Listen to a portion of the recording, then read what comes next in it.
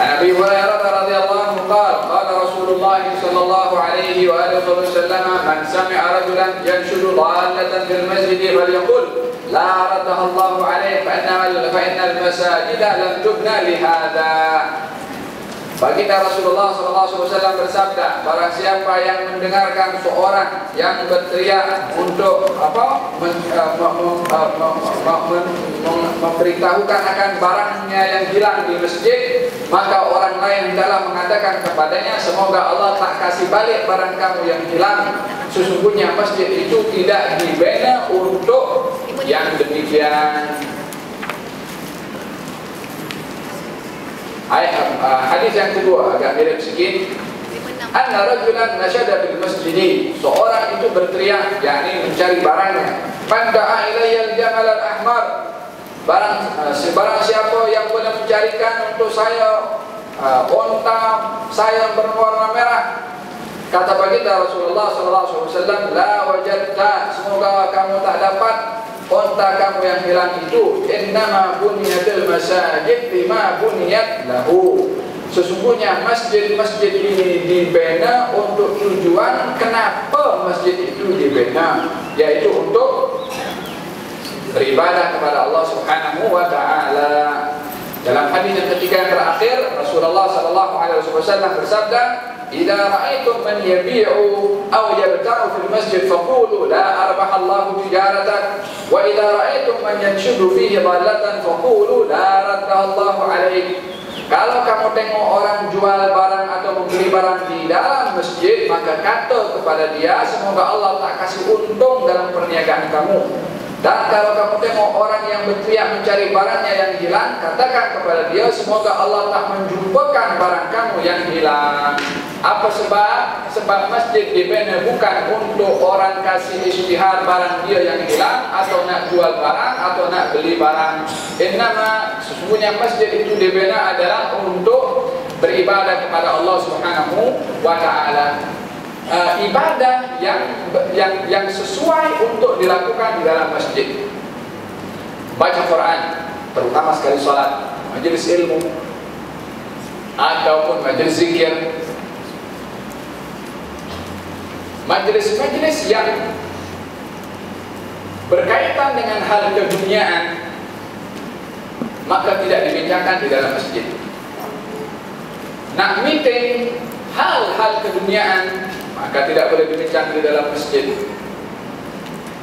kecuali kalau meeting itu berkaitan dengan masjid maka ada hubung kait dengan masjid yang ada hubung kait dengan kepentingan masjid maka hendaklah uh, maka diperbolehkan dilakukan di dalam Orang jual beli itu hukumnya halal, cari nafkah. Dan mungkin saja itu boleh dikatakan jihad. Tapi di dalam masjid tak boleh. Orang yang dia berteriak barang dia hilang, handphone dia hilang, kunci kereta dia hilang, umpamanya atau apa saja. Eh, siapa yang jumpa barang saya hilang? Nabi bukan hanya larang, Nabi bagi tahu, bagi tahu kepada dia semoga Allah akan kasih balik barang dia yang hilang. Sebab masjid dibina untuk ibadah semata-mata kepada Allah Tak boleh something else Orang sekarang kadang-kadang menjadikan masjid tempat borak-borak. Nak borak-borak kat luar tak boleh jom kita pergi ke kaki lima masjid itu sembang sembahkan Lebih-lebih lagi benda yang mungkar dalam masjid. Memang tak dinafikan kita perlu berani untuk melangkah kepada satu perubahan. Kepada yang lebih baik atau kepada yang positif. Khususnya dalam perkara-perkara yang mustahak untuk menjaga kehormatan masjid khususnya bagi mereka yang bila mana ingin mempergunakan masjid akan satu acara-acara tertentu. Seperti kahwinan kadang-kadang di masjid orang nak buat akad nikah, akad nikah ibadah memang dibuat di masjid lagi baik. Nak dapatkan itu berkat rumah Allah Subhanahu wa taala nak buat akad nikah di dalam rumahnya Allah tapi yang datang pergi ke masjid itu khususnya kaum muslimat itu ini rumah Allah Subhanahu wa taala. Memang disuruh oleh Allah kita pergi ke masjid itu khudhu zinatakum inda kulli masjidin Berhiaslah kamu pergi ke masjid. Tapi hiasan pergi ke masjid Biasa hiasan pergi ke kulit pengantin. Hiasan yang didatang dimaksudkan datang ke masjid itu Yang sesuai dengan keadaan masjid itu macam mana Kadang-kadang yang pergi ke masjid Time acara akan nikah tahun itu Pakaiannya Allah.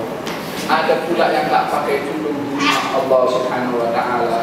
Maaf cakap uh, acara batal sembahyang cium kening di masjid. Ini masjid ibadah. Kalau di rumah jangan cium kening yang lain pun sudah.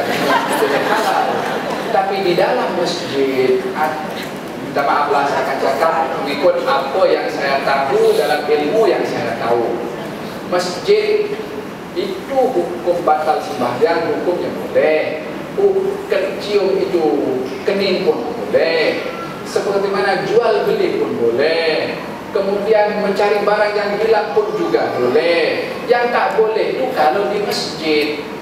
Masalahnya bukan tak boleh uh, buat itu semua. Masjid lebih-lebih lagi sekarang di tempat kita sekarang ini siap dengan dia punya suara perempuan itu apa semua kalau dah apa batas sembahyang cum kening bising kat masjid.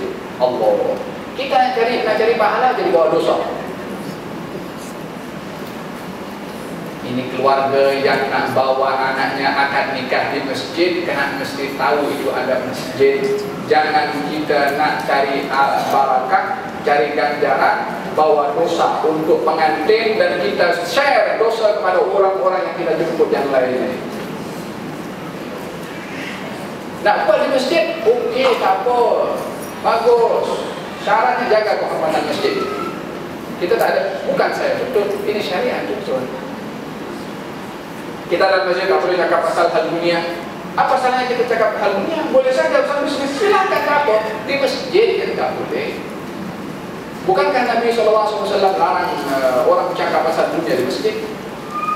Bukankah Nabi beritahu apa nama apa itu ketika orang menagih hutang di dalam masjid dengan suara yang yang kuat Nabi marah kepada apa itu kepada orang itu karena berada dalam masjid dan menagih hutang sehingga perkara yang tak elok berlaku dalam masjid?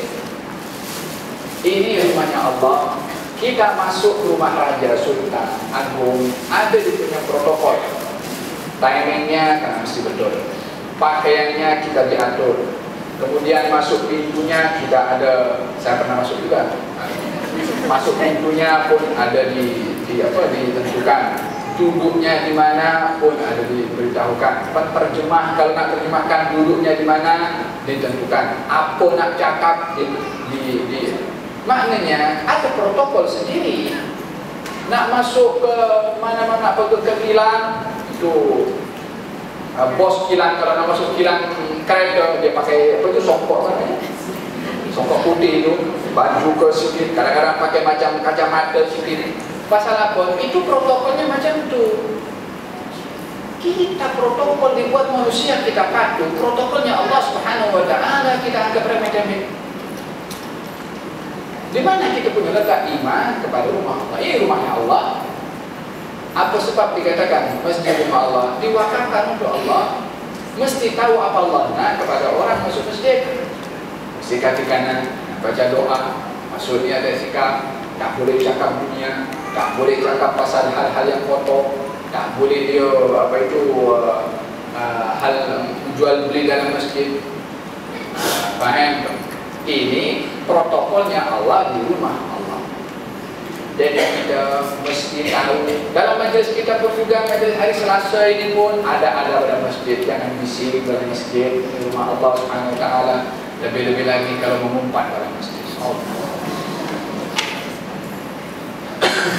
Baik kalau apa itu kalau belum datang salawat ke dulu kepada Nabi sallallahu alaihi wasallam berzikir ke sikit apa semuanya daripada apa itu masing-masing uh, tak tak salah untuk bercakap tapi cakap yang baik. Hakala uh, apa itu di dalam masjid kata baginda Rasulullah sallallahu alaihi wasallam masjid itu dibina untuk tujuan apa dibinanya masjid itu? Apa diimarahkan dengan berbagai aktiviti ibadah kepada Allah Subhanahu